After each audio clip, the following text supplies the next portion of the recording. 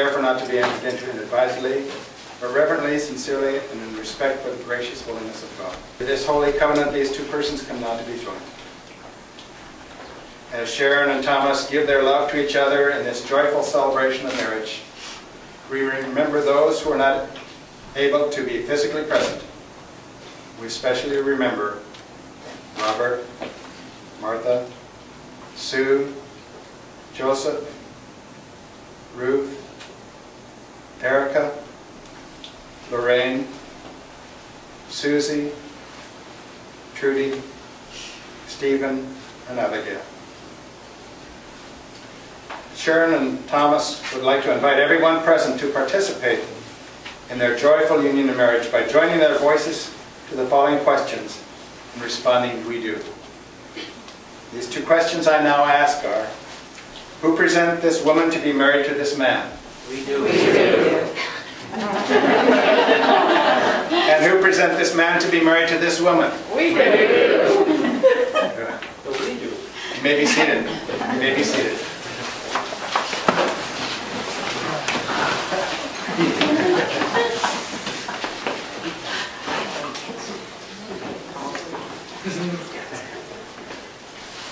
Thomas, will you have Sharon as your beloved wife? Will you love her, honor her, comfort and care for her in all times, keeping yourself only unto Sharon throughout your life? I do. Sharon, will you receive Thomas to be your beloved husband? Will you love him, honor him, comfort and care for him in all times, keeping yourself only unto Thomas throughout your life? I will.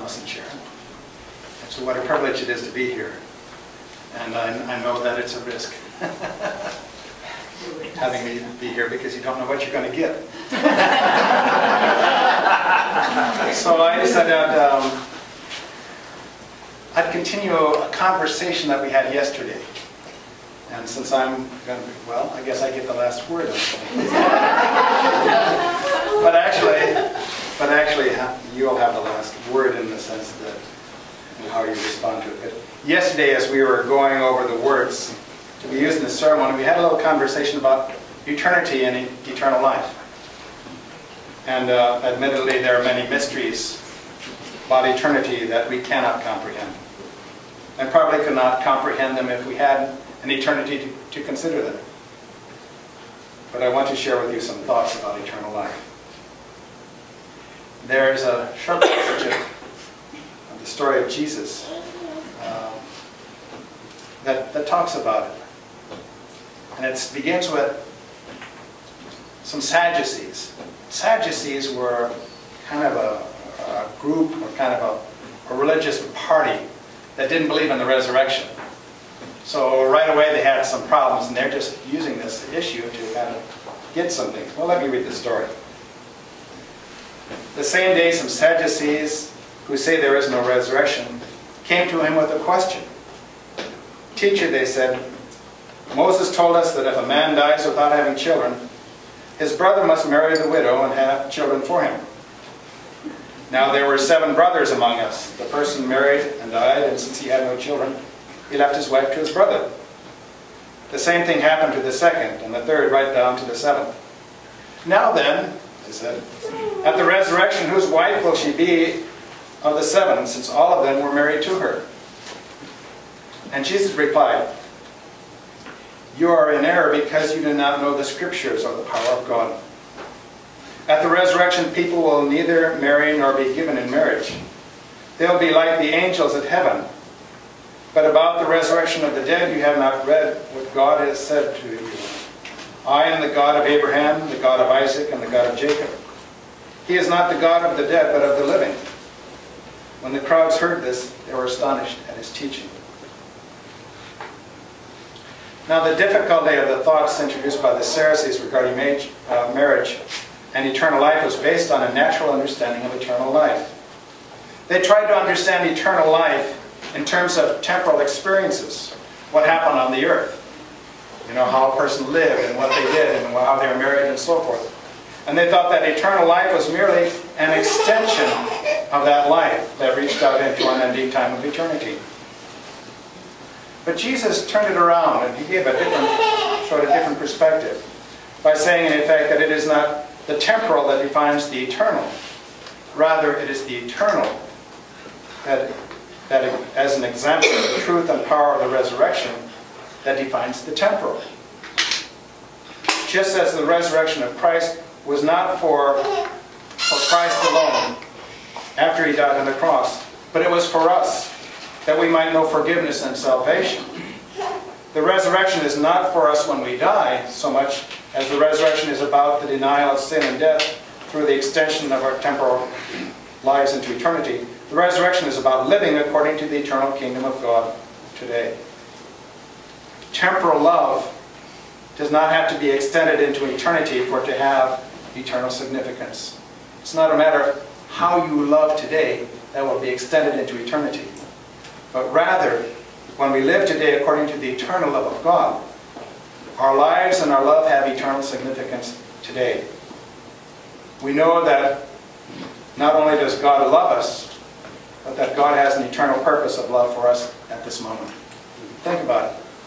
Right now, eternal God has his eternal purpose of love for you. Right now, at this moment. Right now, the infinite eternal love of God is directed at you, through you, and around you this very moment. It is as we live each moment according to the eternal and unconditional love of God that you will know the eternal love and eternal life. For it is God's eternal love that fills each moment. If you try to live so that your temporal life will last forever, your love and faith, and you will never know the fullness of love. Any more than if you tried to live every moment to the fullest, you would never know eternal life. However, if you live each moment according to the end of God, your love will be perfected and your life will be complete, even if it's measured only in the time of a blink of an eye. As Jesus said, we are to live as the angels do, according to the infinite eternal love of God. This is eternal life. This is eternal love. Let's pray. Dear Lord God, we thank you for the gifts of your love, your eternal, infinite, unconditional love. And we thank you for this great holy privilege of celebrating your love in the uniting of Thomas and Sharon this day. We ask you, Lord, that you'll fill them with your love, with your life, with your truth, now and always. In Jesus' name, amen.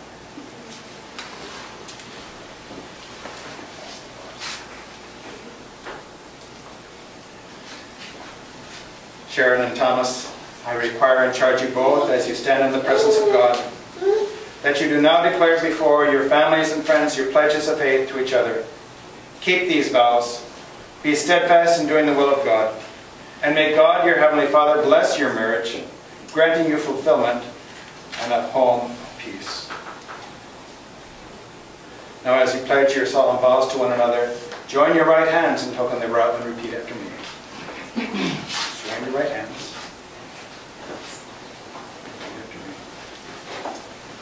I, Thomas, take you, Sharon, I, Thomas, take you, Sharon, to be my wedded wife, to be my wedded wife, and these things I promise you. and these things I promise you. I will be faithful to you I will be faithful to you and honest with you. and honest. I will respect and trust. I will respect and trust. I will help care for you. I will help care for you, I will share my life with you.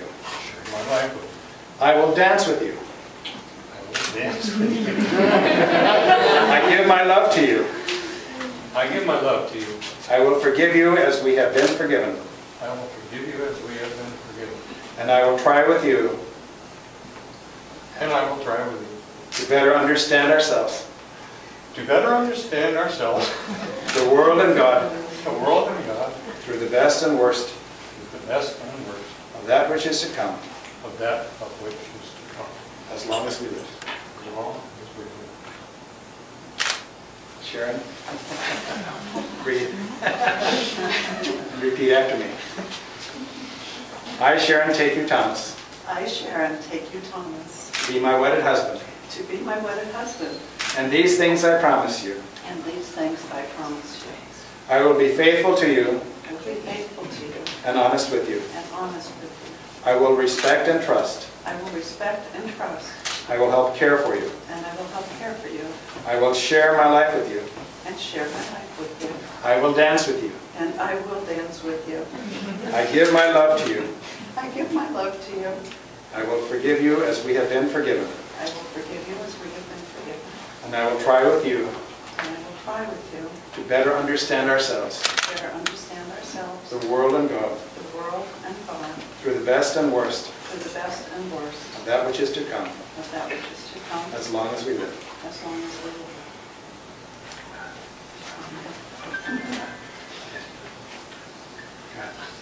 I have the rings, please.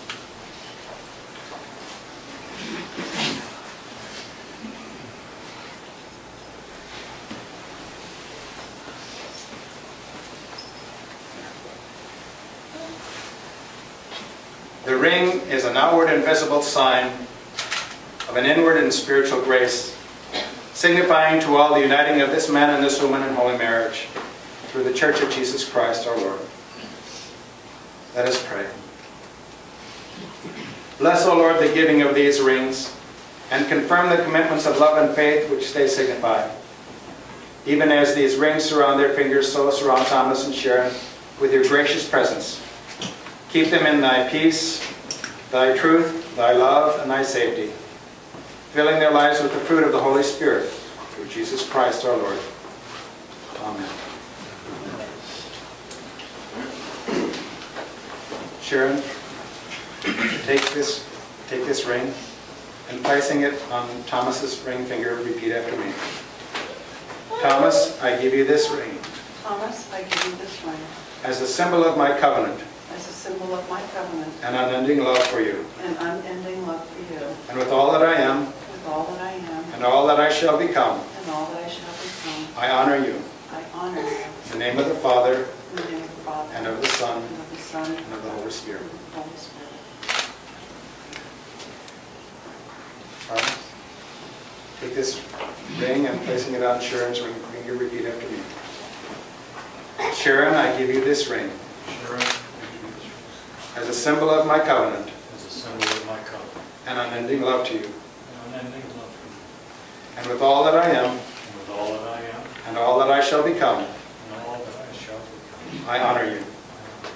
In the name of the Father, In the name of the Father, and of the Son, and of the Son, and of the Holy Spirit. and of the Holy Spirit.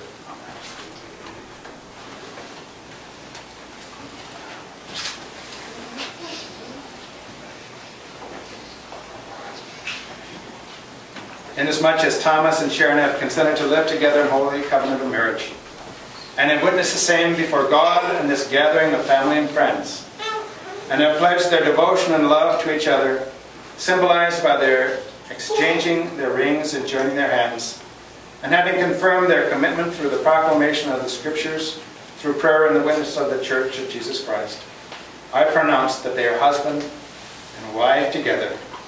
In the name of the Father, of the Son, Jesus Christ, and the Holy Spirit. Amen. Let us now join together with Thomas and Sharon in silent prayer, thanking God for the gracious life God has this day given to us. Let us remember that it is through the grace of Jesus Christ that we are given life. The two are united together in the holy covenant of marriage and become as one. Let us pray.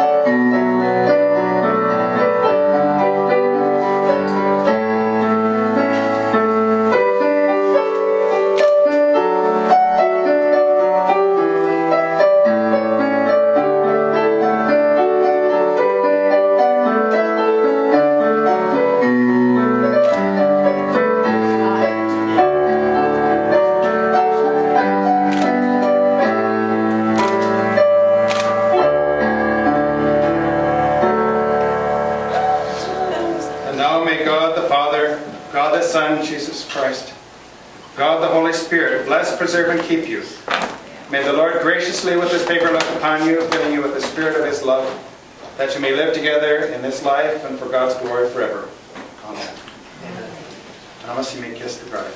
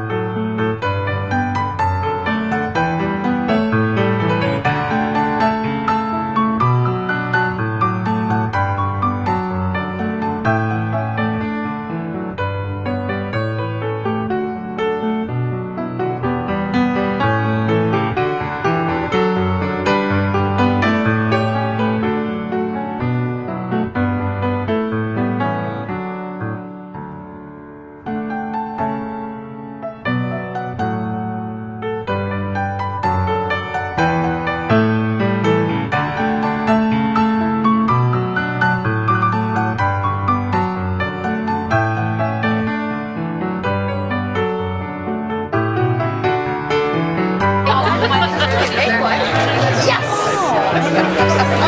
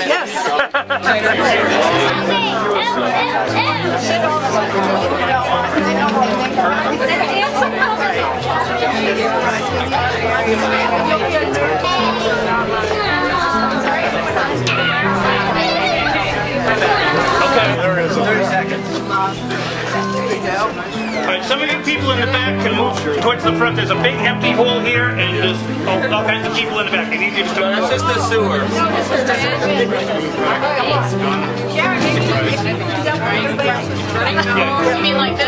yeah. You, you should you should be with the bride and groom.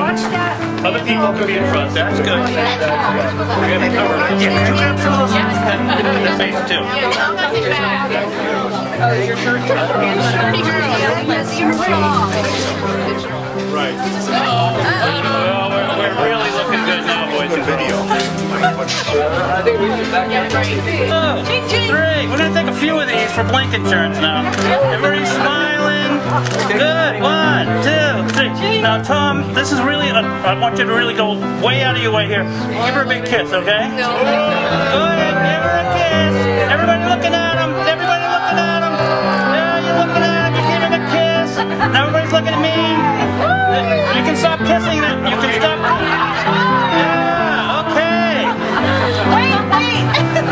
All right. Thank you so much.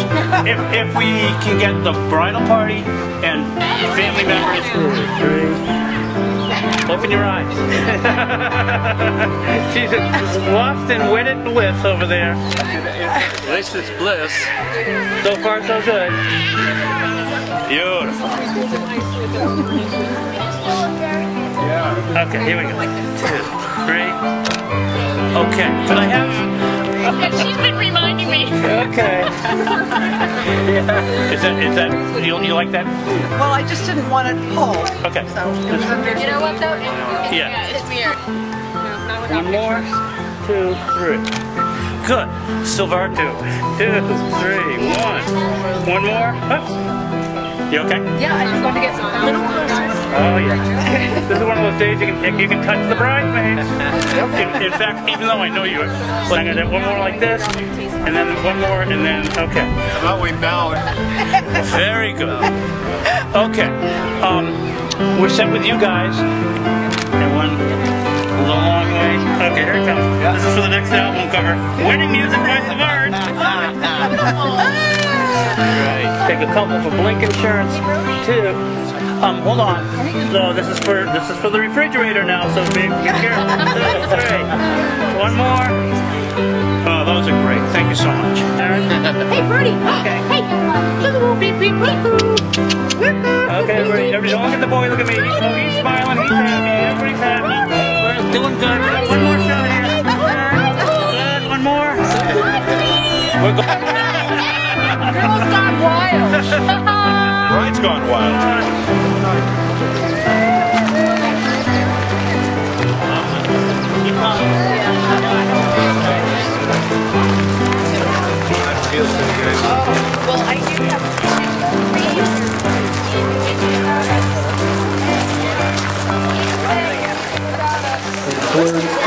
First, we'd like to ask if the uh, bridesmaids and the groomsmen would come up and uh, join our bride and groom, uh, beginning with uh, Donna Gaboris and Thomas's brother Richard Miner.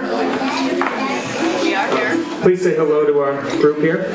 Uh, Barbara Monahan and our musician Silvar Cool. The minister is Reverend James Shutter.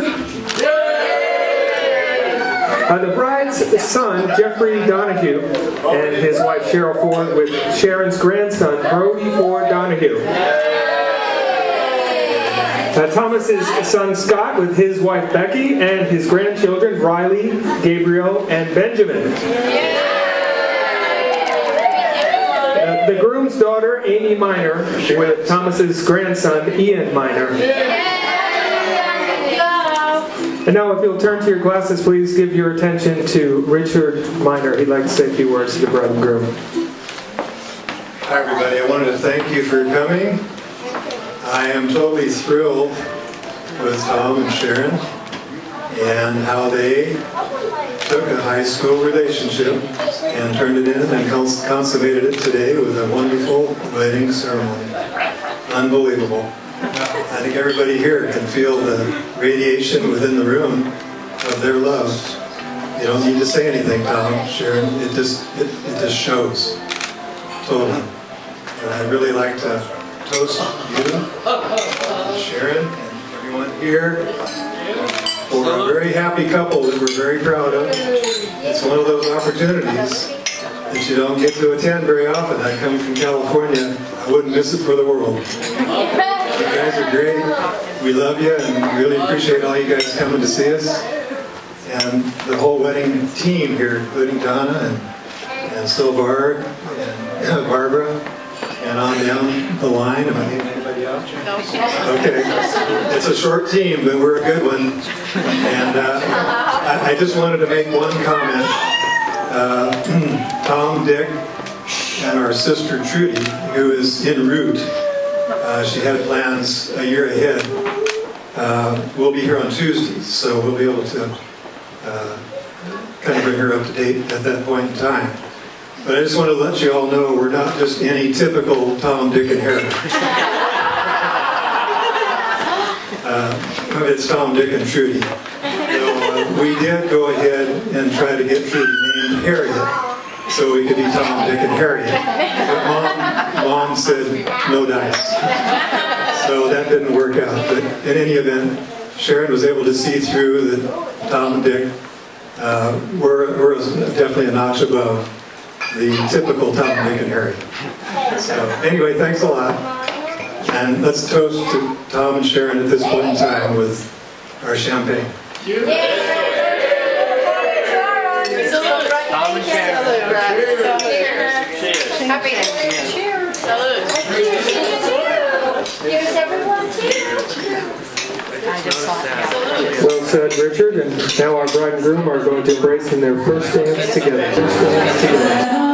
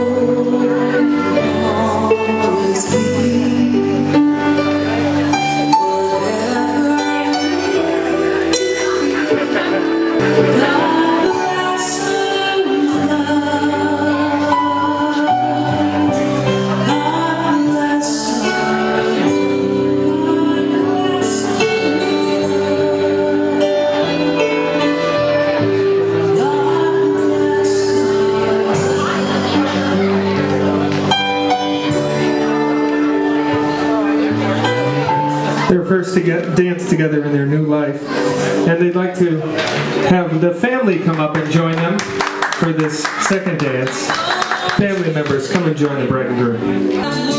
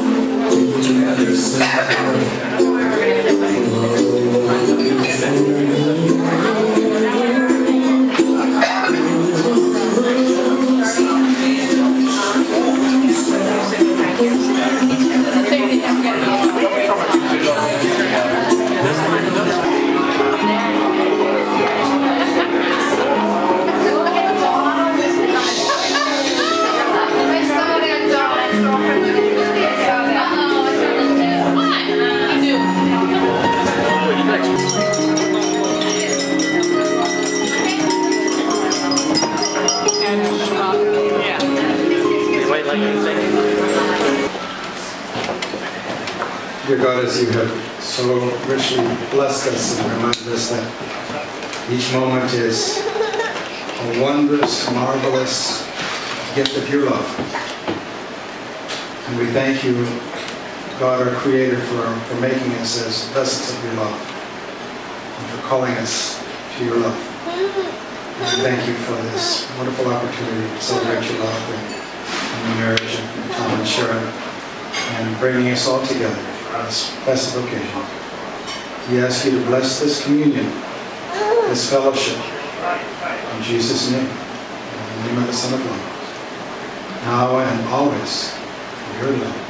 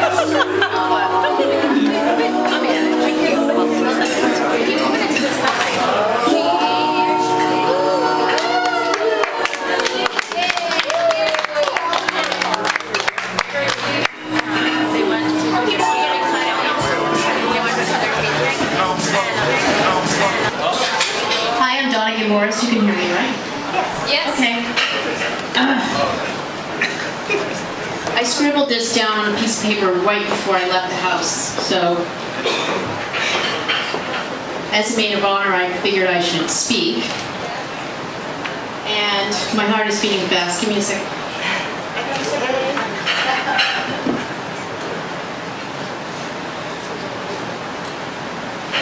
Okay.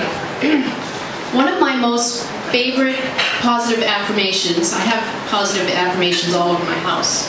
If anybody's been there, they've been in my bathroom, you've seen them all over.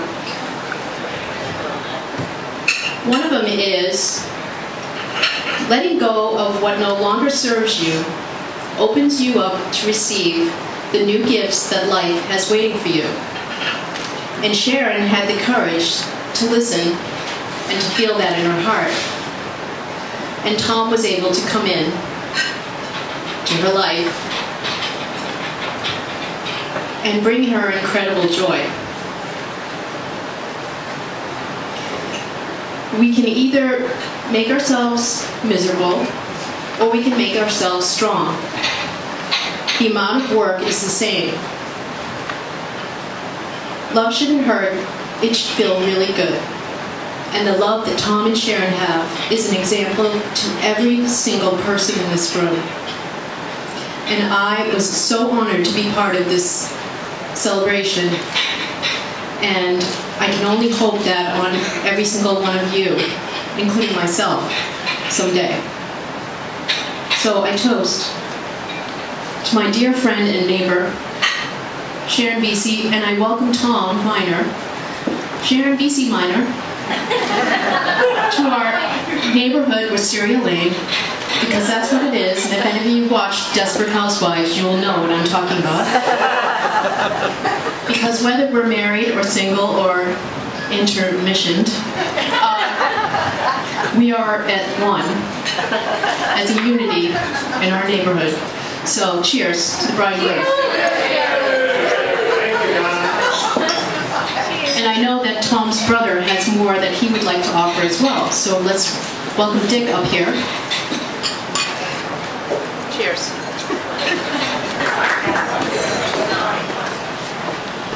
I just wanted to add a little bit. We weren't quite in the frame of mind here when we first came in the front door, but uh, one of the big benefits for me is the fact that I inherit just a great sister-in-law with Sharon now, plus her family and her friends. And we get to add that to our family tree now, and I think that's really a, a, just a super benefit. So uh, I want to say that, and also uh, I just wanted to add that uh, uh, Tom and Dick's dad, uh, Bob, who's in Sunnyvale, California, he's 93 now, and he'd love to be here, but physically isn't possible. So he still has a sense of humor. He's very, very happy, and uh, it's just great to really see him. He, uh, his sense of humor is kind of rubbed off on Tom and I a little bit. And uh, one of his one of his favorite slogans was, uh, "Tom and Sharon, are you ready for your honeymoon salad?" and basically, what a honeymoon salad is is lettuce alone, no dressing.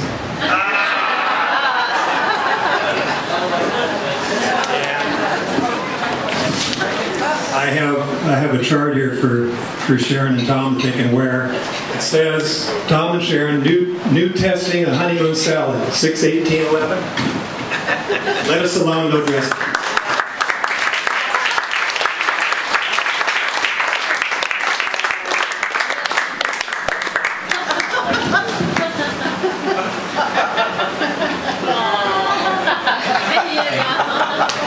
Dad said this many, many, many times. As well as all of his other jokes. Thanks, Richard. That's pretty cool. To Bob. I can't look at my hat wearing that. It's not going to be seven days. You're going to make sure it's not seven days because you know what seven days makes one week.